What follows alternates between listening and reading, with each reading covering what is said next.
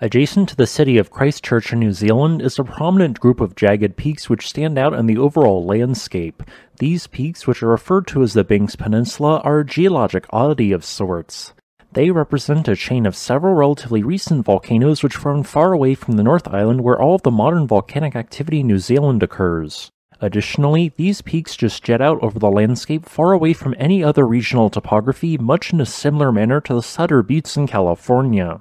As a whole, the Banks Peninsula is 48 kilometers long and consists of two highly eroded shield volcanoes and a group of smaller associated volcanic cones. These two shield volcanoes are called Lyttelton and Akaroa, and what used to be their summit calderas are now large bays. So, how did this volcanic complex form? Over tens of millions of years, the crust and underlying lithosphere have been slowly lengthened as the Zealandia plate moved away from Australia. This caused the existing lithosphere to become unusually thin from which large weak points developed. On occasion, large segments of the underlying lithosphere would detach and sink towards the asthenosphere. When this occurred, large volumes of magma would rush upwards to fill the previously empty space, leading to the creation of a chain of volcanoes. This process has occurred several times throughout the recent geologic history of the South Island, with another recent example being the formation of the 10 to 16 million year old Dunedin volcano. In the case of the Banks Peninsula, a similar process occurred, but when magma intruded into the crust, it was funneled along a northwest trending fault. This led to the creation of a lengthy fissure-like system of volcanic complexes, the first of which began forming 12.4 million years ago. The first batch of magma to reach the surface occurred underneath what is now the town of Lyttelton when there was only a shallow ocean and no land in the vicinity. As basaltic composition magma erupted onto the ocean floor via a fissure, it began constructing a broad submarine volcanic cone. Over time, this shield volcano with its gentle slopes climbed above sea level. Over the next several hundred thousand years, this volcano expanded in size to 25 kilometers wide.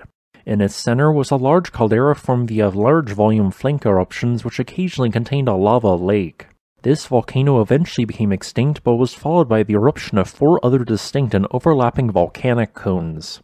During this continued activity, a secondary more explosive type of eruptions formed large lava domes.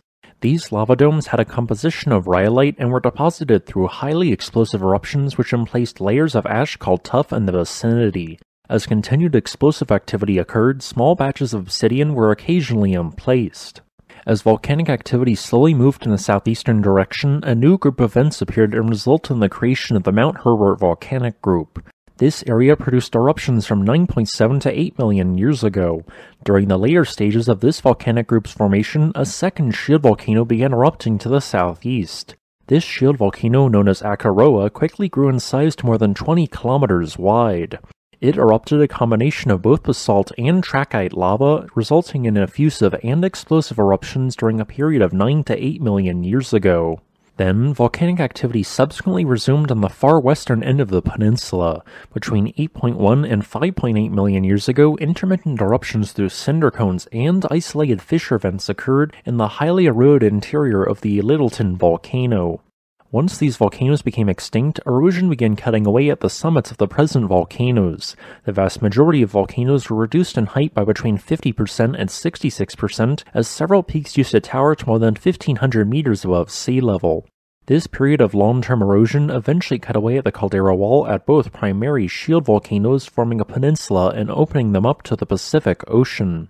In the many millions of years following this, the southern Alps of New Zealand also largely eroded away, which transferred sediment towards the east. This sediment was added to the so-called Canterbury Plains which connected the peninsula to the South Island of New Zealand. Today, this scenic landscape can be visited via State Highway 75 which takes you to the interior of Akaroa. Thanks for watching. If you would like to request a specific topic, please leave a comment below. Additionally, I would like to thank my new patron Marty Noring for supporting this channel.